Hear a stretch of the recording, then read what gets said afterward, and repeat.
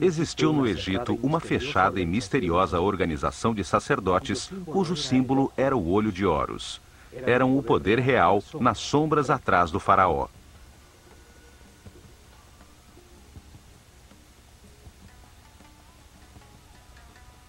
Foram os herdeiros de sacerdotes sobreviventes do ciclo anterior da humanidade que viram no dilúvio uma oportunidade para orientar a humanidade em direção a um destino mais alto e estruturar uma sociedade dedicada ao aperfeiçoamento espiritual.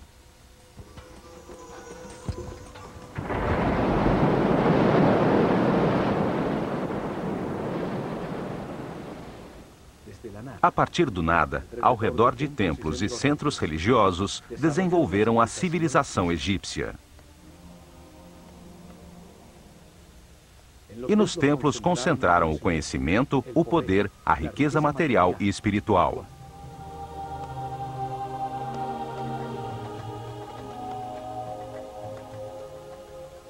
Cada templo revelava um tema diferente. O templo de Osíris, em Abidos, a reencarnação.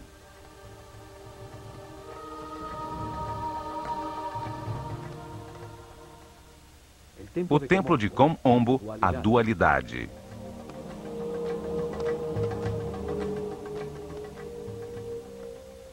O templo de Luxor, o corpo do homem.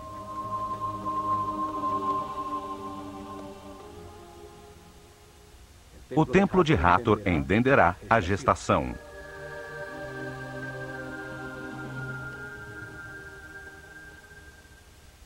O de Isis, em Filaet, o princípio feminino.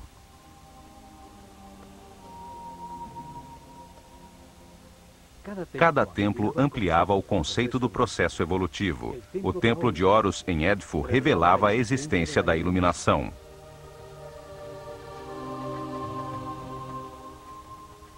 O de Karnak se dedicava à evolução da consciência. Cada templo era um livro vivo, contando uma história diferente, especializando-se numa parte da revelação. Os templos transmitiam o conhecimento através de histórias simples, cheias de mitos e personagens fantásticos.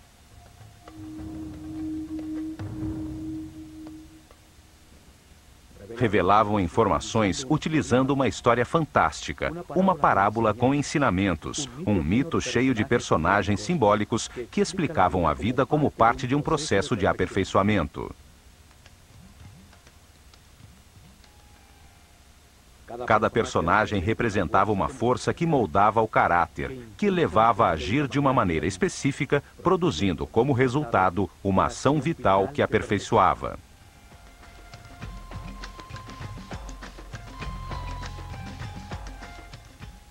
As formas dos personagens e a ação vital que representavam indicavam a sabedoria dos sacerdotes do olho de Horus. Para escolhê-los, estudavam profundamente os animais e insetos, até entender a sua função vital e o que se obtinha através dela.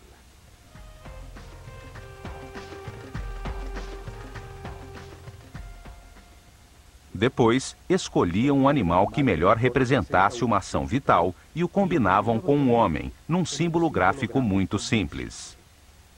Assim faziam com que a mente transferisse e evocasse as suas qualidades e características.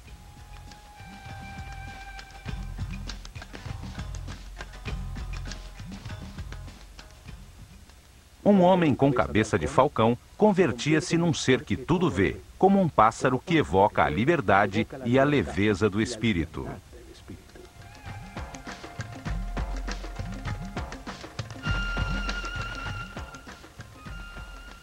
Um homem com cabeça de chacal tinha qualidades de guia. Outro com um sol sobre a cabeça indicava a sabedoria que irradiava, o alto nível de evolução da sua consciência.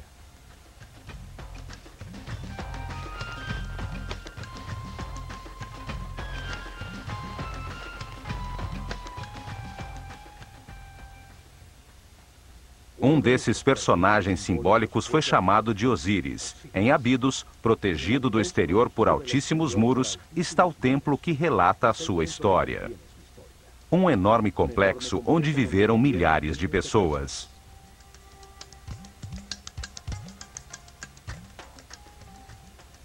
Neste programa, veremos o que este templo revelava. Abidos se encontra a 150 quilômetros ao norte de Tebas, a última capital do Império Egípcio, seu último centro religioso. Por volta do ano 1300 a.C., Sete I e seu filho Ramsés II construíram um templo dedicado a revelar a existência da reencarnação. O templo era formado por dois pátios fechados,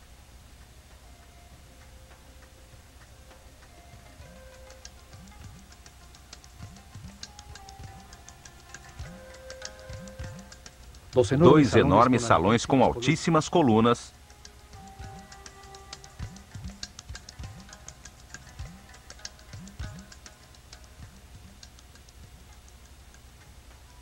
sete santuários e uma série de câmaras. e áreas de serviço.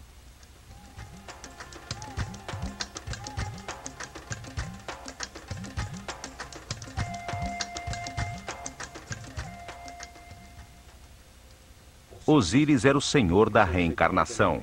Representava a força que impulsiona o processo evolutivo do homem através de muitas vidas, transmutando-o num ser perfeito e imortal.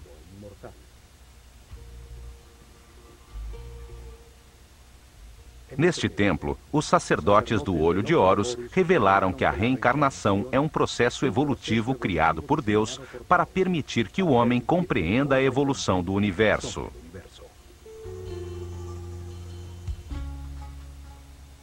A informação na consciência é ampliada lentamente, através de muitas vidas, para transformar a ignorância dos seus filhos em sabedoria. Um processo que converte espíritos inocentes em seres experientes, que entendem a razão da sua existência. A reencarnação transforma um ser denso e rígido que permanece na baixa vibração do medo num ser flexível, etéreo, que vive na frequência altíssima do amor.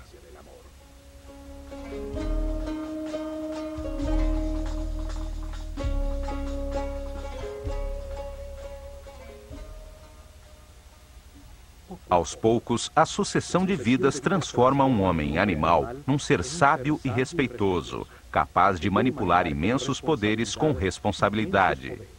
Um super-homem.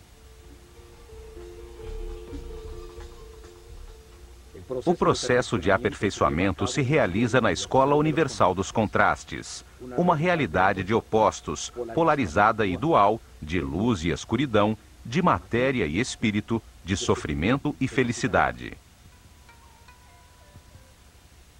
O contraste permite comparar as partes antagônicas. As situações opostas permitem diferenciar e compreender qual é a verdade que leva ao aperfeiçoamento espiritual, à paz e à harmonia. Esta porta só se abria quatro vezes por ano. Quatro dias significativos que uma sociedade orientada e regida pelos astros demonstrava através de sua arquitetura seu conhecimento dos movimentos do Sol. Esses dias de equinócios e solstícios definiam os ciclos climáticos da Terra. As quatro esquinas do Sol marcavam as mudanças de estação, a enchente do Nilo, o tempo do plantio e da colheita. O primeiro raio de sol entrava pela porta do templo, iluminando o interior do santuário de Amon-Ra, a barca de ouro.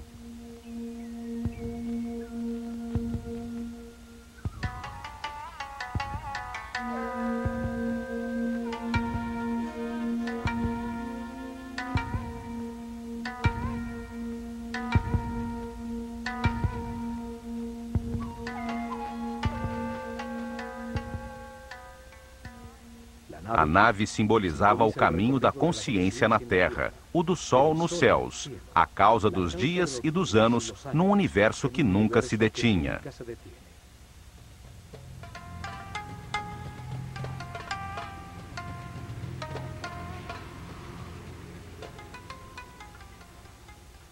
Povo só podia entrar até esses pátios para participar das cerimônias que se realizavam ao entardecer e ao amanhecer de solstícios e equinócios, como em todos os templos do Egito. Este primeiro salão continha informação sobre o tempo e o espaço. Os ciclos zodiacais que produzem ritmos, tempos difíceis e fáceis, a alternância necessária no universo de contrastes.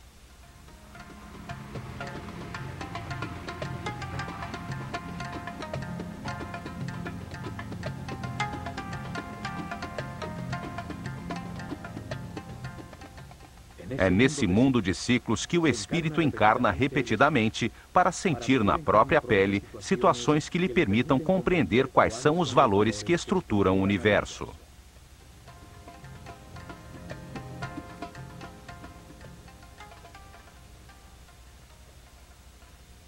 Em cada vida, adota uma nova personalidade, com outra família, em outro lugar e tempo, para experimentar situações definidas por um novo destino. Tem uma mente livre para decidir como agir nas situações que enfrenta e para analisar o resultado de seu comportamento. É assim que evolui ao tomar milhões de decisões e avaliar os seus resultados.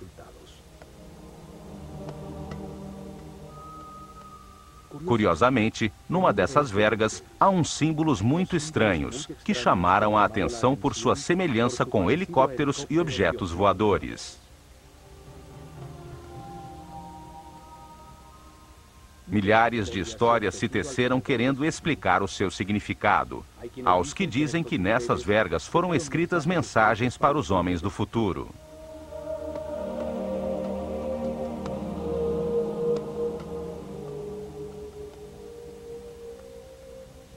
E no momento em que estes símbolos forem entendidos pelos visitantes do templo, chegará a nova era de Aquário e a humanidade viverá o fim de um ciclo e uma mudança transcendental. 36 colunas sustentam o alto teto do salão seguinte, dedicado à Ordem Universal, ante as sete capelas que arrematam o templo.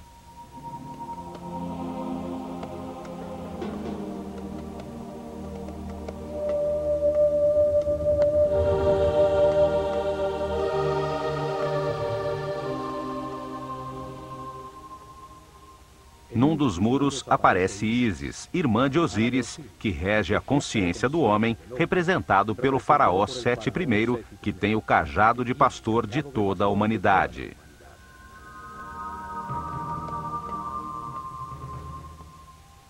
Dá o sopro de vida, o instante divino em que o espírito encarna num corpo, para encontrar verdades sobre o universo, ao compreender os resultados de suas decisões na vida. Em cada vida se tem um novo corpo que obedece às decisões da mente e envia permanentemente informação do mundo exterior através dos sentidos e terminações nervosas. Vida após vida, o homem experimenta uma série de circunstâncias ao se relacionar com outros seres. Os acontecimentos difíceis são a lição que veio aprender, o destino que lhe corresponde.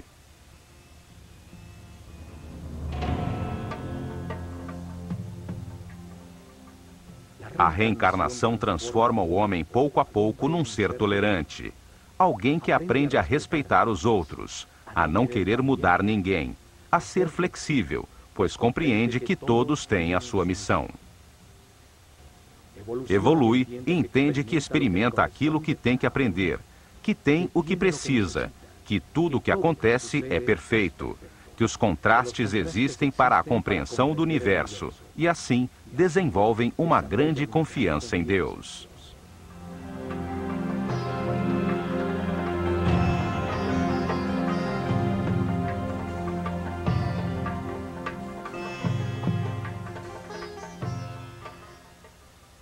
Transformam o sofrimento em paz, a intolerância em respeito, a agonia em harmonia. Encontra a felicidade. Assim, eleva sua energia vital alcança sentidos e poderes e torna-se um ser invulnerável.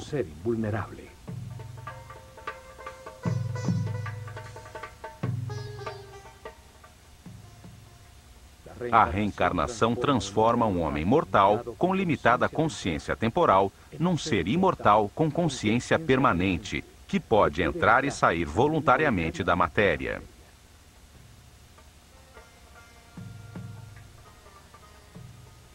O homem tem mais que uma vida. A morte é apenas uma porta para mudar as circunstâncias e receber outro destino. Cada vida é uma lição diferente, uma parte do processo de aperfeiçoamento para chegar cedo ou tarde, através do respeito e da paz interior, à imortalidade. A revelação egípcia estabelece que cada espírito passa por esse processo de aperfeiçoamento durante um ciclo cósmico, uma volta do sistema solar ao redor do Sol central da galáxia. Durante esse período de tempo, 25.920 anos, o planeta Terra passa por cada uma das 12 constelações das estrelas que formam os 12 signos zodiacais na abóbada celeste.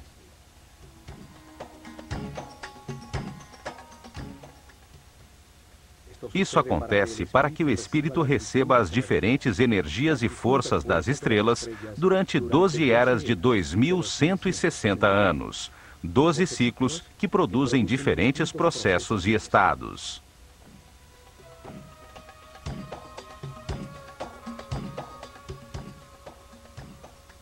Durante essa volta, o espírito reencarna umas 700 vezes em diferentes corpos, lugares, tempos, circunstâncias, condições e personalidades. Durante essas vidas, ascende do primeiro ao sétimo nível de consciência.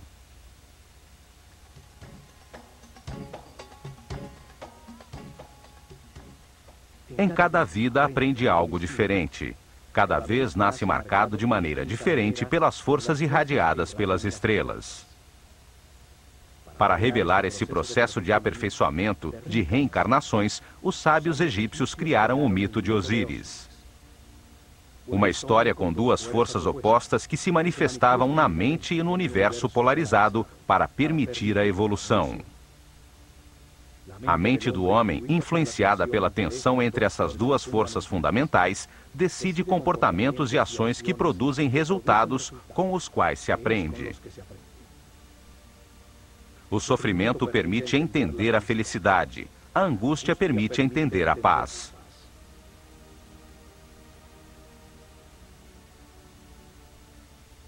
O mito tinha quatro personagens fantásticos, quatro irmãos que se juntaram de maneira natural e, ao fazê-lo, representaram duas forças opostas, a luz e a escuridão.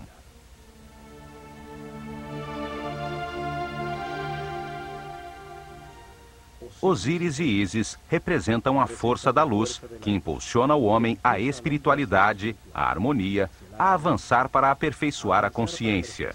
São o motor das reencarnações.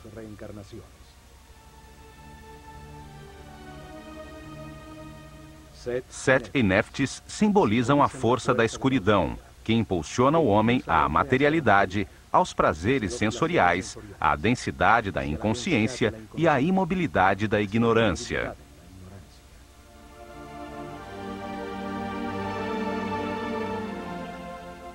Osíris é a força ativa masculina. A vontade baseada nas certezas adquiridas, na informação verificada para impulsionar ações que produzam harmonia, paz e felicidade. A forma simbólica de Osíris é a de um homem envolto em faixas, um espírito envolto pelo corpo tem uma coroa branca, a consciência em formação sobre a sua mente, com duas plumas laterais, as duas forças polares do universo, a dualidade contraditória que lhe permite comparar para compreender a verdade.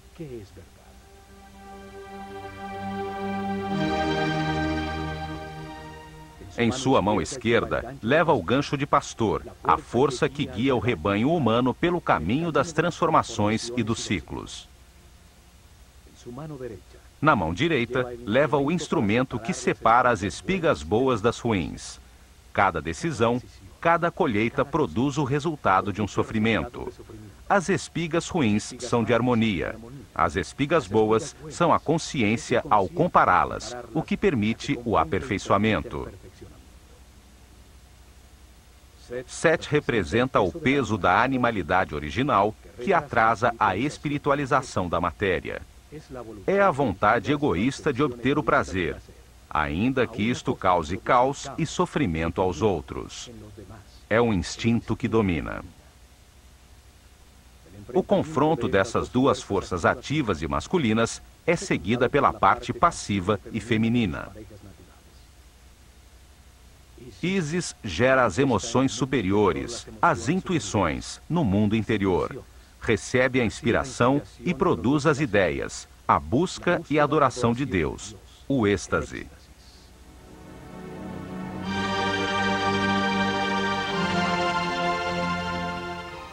Neftis recebe as sensações e os desejos gerados pelo corpo.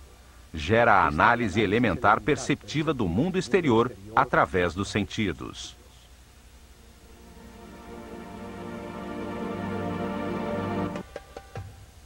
Ao fundo do salão da Ordem Universal encontram-se sete santuários que são o coração do templo explica as fases do Gênesis, a aparição do pensamento humano e os princípios divinos, as forças que impulsionam seu processo de aperfeiçoamento.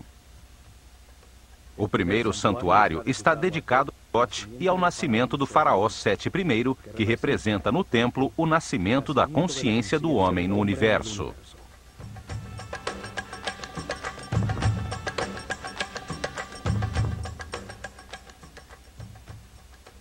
A primeira é a cena simbólica. O sumo sacerdote da escola de Horus, coberto com a pele de um jaguar, a força da animalidade original abandonada, ajuda no nascimento do faraó Sete I. Nasce a consciência que pode participar da evolução do universo.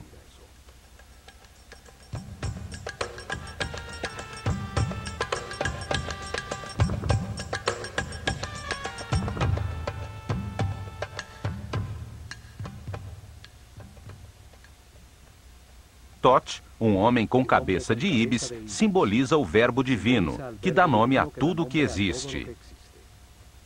Representa o princípio multiplicador do único Deus, que ao nomear, cria um ser divino.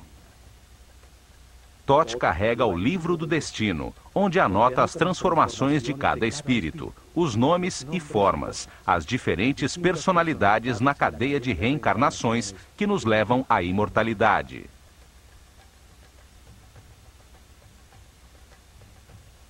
Cada espírito recebe um corpo, um nome. Neste caso, Sete Primeiro, uma personalidade temporal como Faraó, determinada pelo ciclo e pelas circunstâncias, onde cumprirá seu destino temporal de aprendizagem. Tote escreve em seu livro o nome dentro de um laço, chamado cartucho egípcio. Cada laço tem um nó na sua base e representa uma das vidas temporais do Espírito Eterno. O nome é a vibração da palavra divina que dá forma ao corpo e define a personalidade temporal do espírito encarnado. Em cada vida tem-se um nome diferente. É uma lição de cada vez. O destino define as circunstâncias que são necessárias viver para que se aprenda. Tote é o escrivão dos céus. Arquiva a lição que o espírito encarnado deve aprender no livro do destino e, no momento da sua morte, escreve os sucessos obtidos.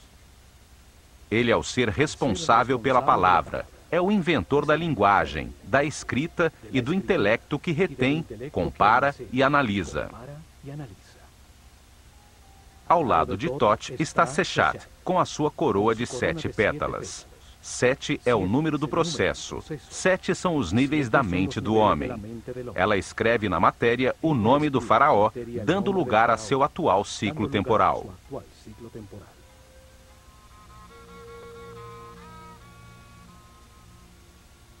Parte do mito de Osíris é o chamado julgamento dos mortos. Acontece quando o espírito do morto chega ao Doat, uma dimensão além da física, para encontrar-se com as forças que impulsionaram a sua mente no universo de contradições que é a vida sobre a Terra. No Duat revê a sua vida, avalia seus atos e eleva o que aprendeu sobre o universo até sua consciência permanente, antes de reencarnar, a fim de que continue o processo de aperfeiçoamento. Anubis, um homem com cabeça de chacal, guia o espírito do morto nesse mundo imaterial. O chacal simboliza a força guia. Os egípcios perdidos no deserto reencontravam a civilização seguindo as suas pegadas.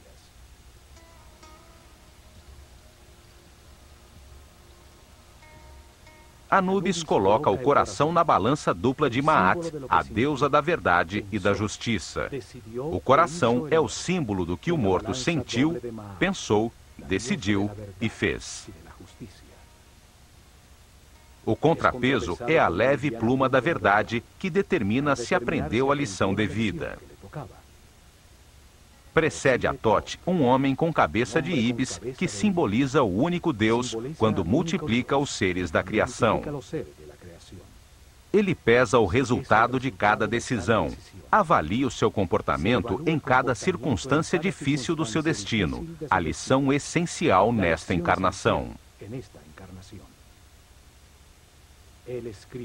Ele escreve o livro do destino, os registros akáshicos, as transformações de cada espírito em seu processo de evolução, o nome que usou, a forma que adotou, o lugar onde nasceu, as circunstâncias que experimentou e os resultados obtidos. Uma estranha figura, composta de partes de vários animais, observa. Representa as formas encarnadas pelo espírito, as diferentes formas de animalidade original. É a força animal que impulsiona o espírito em direção à matéria, a paixão, o desejo, as sensações do corpo. É a força de Sete, o lado escuro de todo ser humano, o que atrasa o seu processo de evolução.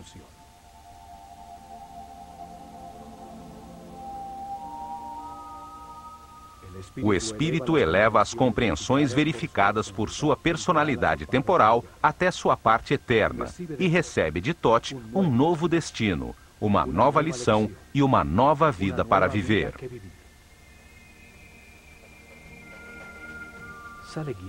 Sai guiado por Horus, a luz de sua própria consciência, a que o espera no momento de sua liberação definitiva, quando terminam seus ciclos de reencarnação, porque já aprendeu tudo.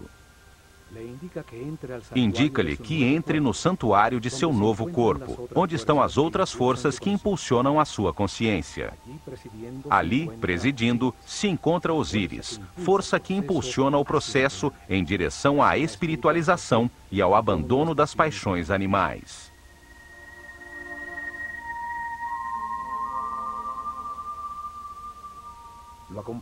Está acompanhado de Isis e Neftis, suas conexões com as sensações e emoções do corpo que ocupa nesta nova vida em que acaba de nascer.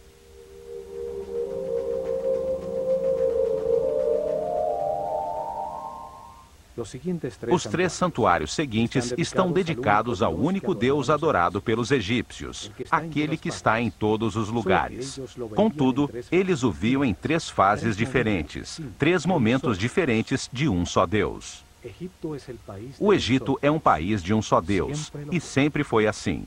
Só que para eles, esse único Deus, essa única e total consciência, se manifesta no universo em três diferentes momentos do Gênesis. Os sacerdotes utilizaram três nomes diferentes para essas três fases da criação, para comunicar fácil e gradualmente como compreendiam Deus.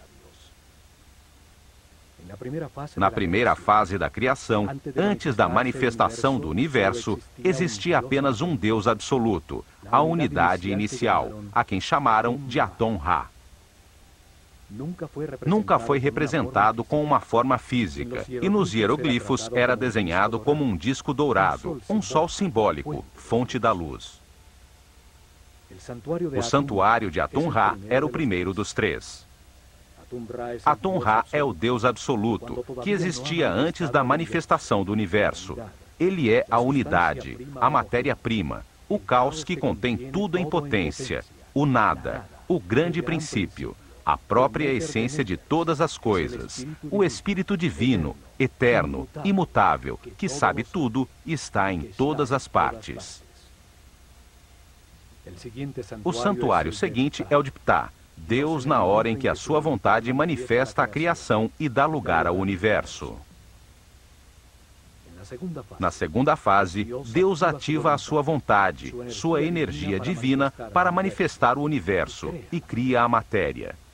Esse Deus que cria o universo foi chamado de Ptahá. Nos escritos sagrados está representado por um homem envolto em faixas, que segura um bastão composto de três símbolos. O Ankh, ou símbolo da energia vital criadora, que se manifesta como vida nas pulsações do sistema vascular. A força divina é chave da vida. O Uas, que representa a artéria principal, simboliza o canal por onde flui a energia pelo corpo. Também tem a forma de um bastão que utilizavam no campo para controlar serpentes. O controle da corrente vital, a serpente energética, o Kundalini que sobe pela coluna vertebral. O Jed, que simboliza o eixo de crescimento e desenvolvimento de todo ser vivo, a coluna vertebral que estrutura todos os seres, dando forma aos diferentes corpos. O bastão de Ptah tem, portanto, uma profunda simbologia referente à energia que gera a vida. Ptah representa o momento em que a vontade ativa de Deus manifesta uma força sobre si mesmo que condensa sua substância original, a que chamamos espírito. Este reage, criando uma força contrária expansiva que põe o universo em movimento.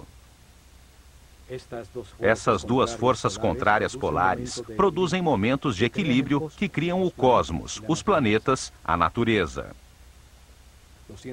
Os cientistas atuais chamam esse momento de Big Bang. A força que condensa é chamada de força centrípeta. A reação expansiva chamam de força centrífuga. Desde Einstein, se aceita que a matéria seja uma forma de energia, uma coagulação ou condensação de luz. O espírito é considerado a substância original, que por sua própria natureza imprime sobre si mesma uma força que a comprime num volume, na matéria, que é luz com densidade. Ao fazê-lo, gera automaticamente uma força contrária, que tenta soltar-se da forma em que está comprimida, conseguindo como resultado o movimento e o tempo. A terceira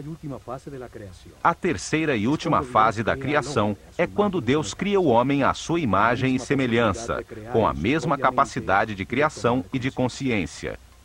O chamaram de Amon-Ra. O principal símbolo de Amon-Ra é sua enorme coroa, que simboliza a consciência que toma forma no mundo dual. Por isso, está dividida em dois ramos que saem da unidade. Cada ramo tem sete folhas, sete níveis por onde passa a consciência, desde o momento em que encarna pela primeira vez no corpo de um homem, até o momento em que se ilumina, livrando-se das limitações materiais.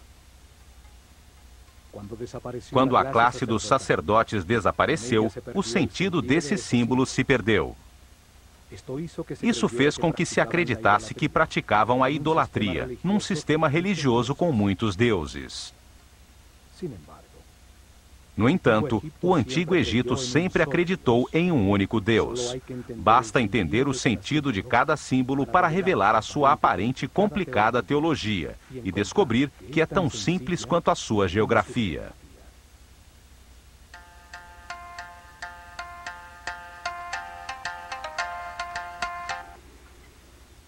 No templo de Osíris, em Abidos, o único Deus, em cada uma das fases da criação, tem o seu próprio santuário. O último santuário é o de Amon-Ra.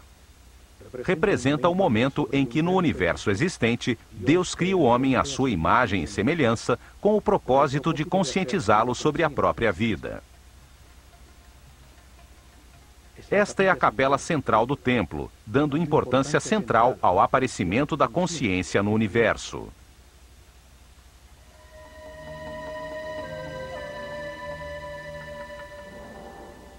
Em seus muros aparece o símbolo do deus Amon-Ra e o faraó, como o homem consciente que agradece pela vida, aceitando suas partes de luz e de escuridão, de gozo e de dor, compreendendo-a como um processo de aperfeiçoamento.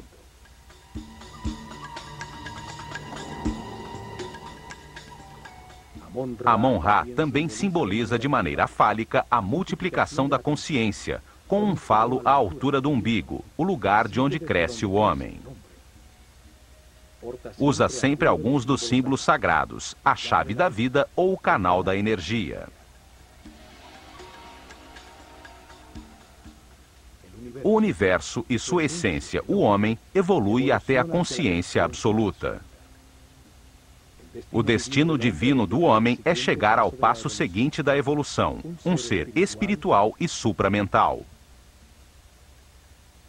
O faraó envolve Amon-Ra com uma capa transparente, representando o dar forma a Deus na mente do homem, para que compreenda a razão da existência. Aponta com seu dedo para o terceiro olho, ponto reconhecido em muitas religiões e cultos como a porta além do físico. Amon-Ra recebe uma taça em forma de coração que contém o amor e a sabedoria armazenada pela evolução de todos os homens.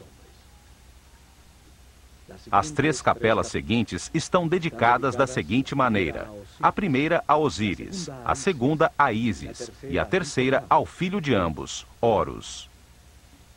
Na criação polar que se manifesta como luz e escuridão, Osíris e Ísis representam a luz, o avanço da consciência através dos ciclos de vida, morte e renovação.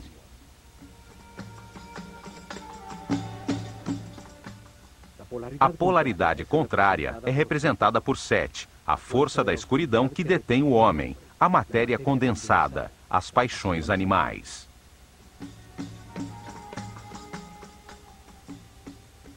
Horus nasce quando a luz triunfa sobre a escuridão. É o filho de Osíris e Ísis. Representa o momento em que cada ser espiritualiza a sua matéria, deixando para trás a sua animalidade original, transformando-se num ser sem limitações, consciente de todas as vidas que viveu. Osíris aparece nos muros de seu santuário com diferentes chapéus simbólicos na cabeça momentos distintos do processo de aperfeiçoamento, diferentes etapas e estados adquiridos. O processo de evolução acontece simultaneamente de duas maneiras. Um processo visível e exterior de evolução física, onde uma forma cada vez mais sofisticada de corpo é mantida e transmitida continuamente através da hereditariedade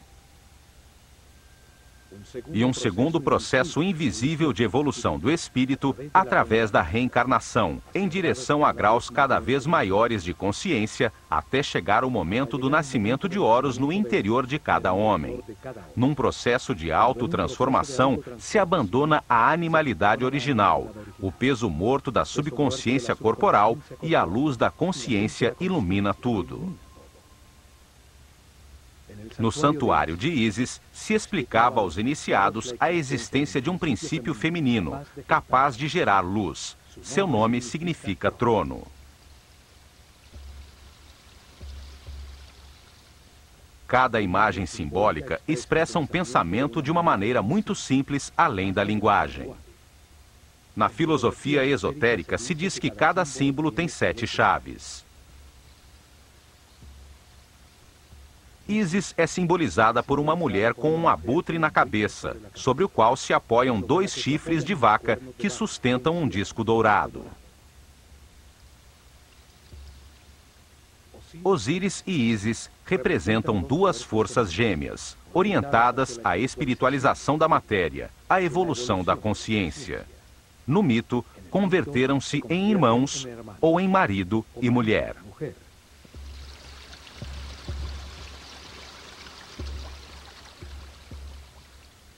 O abutre é um pássaro que voa e que é totalmente dedicado à sua cria. Em seu interior, transforma as substâncias em decomposição, convertendo-as em alimento, em nova vida. A vaca representa o princípio nutritivo. Seus chifres têm a forma da lua, a mãe dos ciclos. Sustentam o disco dourado, a luz do sol, fonte da vida, a luz da consciência.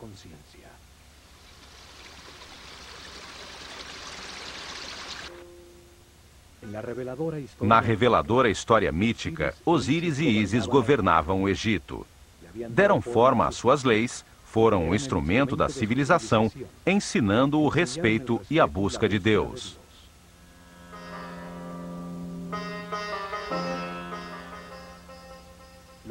Depois disso, Osíris prosseguiu sua busca em outras dimensões, a outras verdades e outros conhecimentos, deixando o reino, símbolo da mente, nas mãos de Ísis, sua esposa e irmã.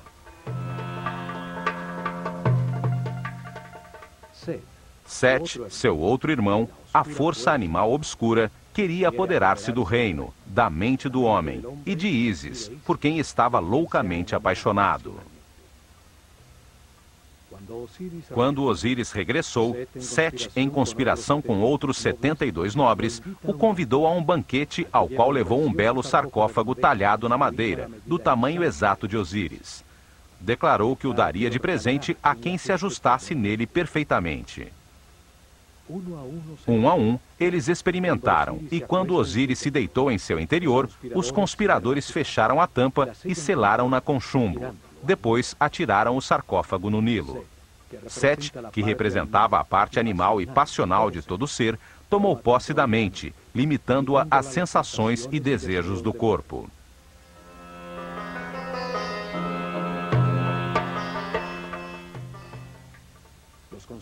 Os conspiradores simbolizam as reencarnações que a consciência presa no sarcófago do corpo tem que viver durante um ano cósmico, para transformar a matéria em espírito.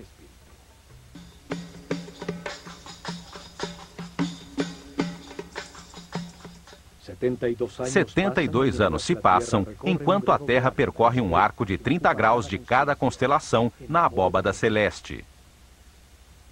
Doze constelações ocupam os 360 graus do firmamento, as doze eras zodiacais. A grande volta do sistema solar, chamado ano cósmico, dura 25.920 anos.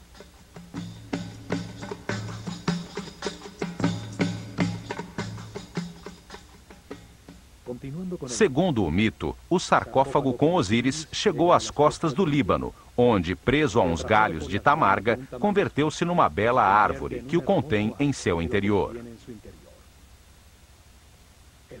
O rei desse lugar viu a bela árvore e a cortou para fazer uma coluna do seu palácio, sem saber que o sarcófago continuava incrustado em seu interior. Depois de muitas aventuras, Isis resgatou o sarcófago e o trouxe de volta ao Egito. Quando Sete descobriu, cortou o corpo de Osíris em 14 pedaços e espalhou-os por todo o país.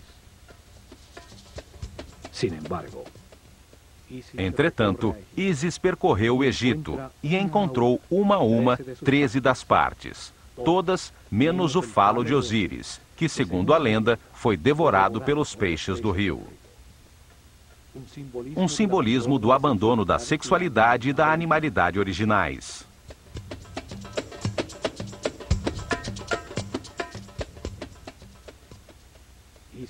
Isis, ajudada por Tote, conseguiu unir os pedaços do corpo de Osíris e teve uma comunhão espiritual com seu marido.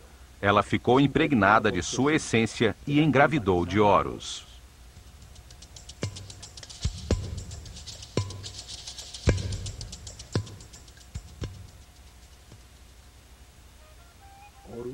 Horus representa a iluminação, quando se abandona a roda de reencarnações, pois já se adquiriu a sabedoria necessária para não perder nunca mais a consciência adquirida.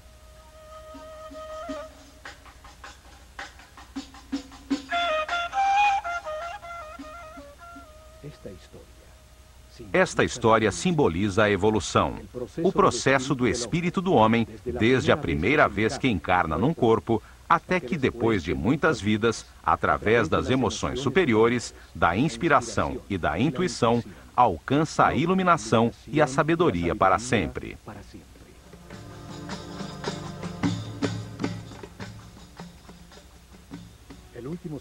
O último santuário do templo é o de Horus, a porta que se abre às estrelas. Horus representa o momento da ressurreição, da iluminação e da imortalidade. O fim das limitações materiais, o momento de ver todas as vidas vividas, mantendo para sempre a consciência adquirida. A revelação afirma que o espírito do homem, depois de muitas vidas, chega a um nível de sabedoria em que compreende a razão de sua existência e as forças fundamentais do universo. A compreensão obtida por seu espírito, com o resultado das experiências de muitas vidas, o leva ao ponto de harmonia, em que pode libertar-se da roda de reencarnações e limitações da matéria. Esse momento acontece quando respeita os outros, aceita que tudo que ocorre é perfeito e permanece em paz e harmonia. Quando armazena altos níveis de energia vital e resolve, com toda a sua vontade, dedicar buscar a Deus em somente uma vida. Se ao chegar a esse nível, decidir esforçar-se para conseguir a perfeição, abre a porta ao caminho de Horus à transformação que permite o abandono da roda de reencarnações sucessivas. Horus representa o triunfo da luz sobre a escuridão, o domínio da animalidade original, o fim das limitações materiais, o passo definitivo da ignorância à sabedoria, a porta dimensional que o leva acima das hierarquias do universo.